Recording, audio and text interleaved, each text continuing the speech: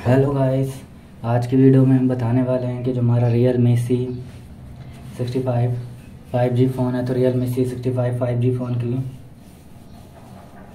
Settings पे जाकर कैसे अपने फ़ोन में ऐप्स वगैरह को कैसे हाइड कर सकते हैं और कैसे अपने फ़ोन की सेटिंग्स पे जाकर ऐप्स वगैरह को कैसे छिपा सकते हैं।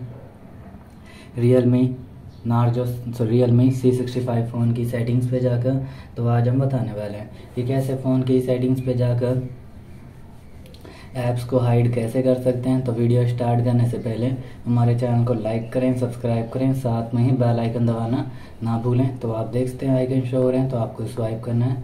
स्वाइप करते ही ऑल आइकन ओपन हो जाएँगे। तो सेटिंग्स पे जाना और क्लिक करते ही फ़ोन की सेटिंग्स ओपन हो जाएगी।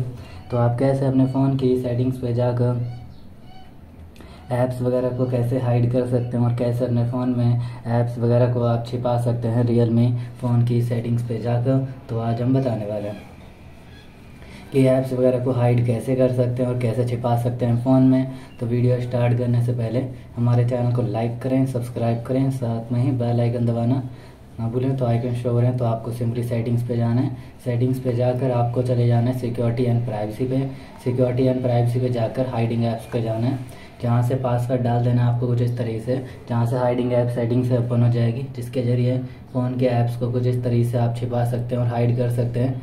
जो भी ऐप्स आपको हाइड करना है, इस तरीके से ऑन कर देना है, जिससे ऐप्स वगैरह आपके फ़ोन में हाइड हो जाएँगे, जो आपकी फ़ोन की आइकन्स में शो नहीं करेंगे। देखते हैं कि यहाँ पर शो नहीं हो रहे हैं, क्योंकि हमने ऐप्स को हाइड कर दिया। तो इस तरीके से फ़ोन में ऐप्स को छिपा सकते हैं हाइड कर सकते हैं Realme. C sixty five phone में तो आपको वीडियो अच्छी लगी तो लाइक एंड सब्सक्राइब करें। साथ में बेल आइकन दबाना ना भूलें। थैंक यू नेक्स्ट वीडियो के लिए इंतज़ार करें वीडियोस को शेयर करें।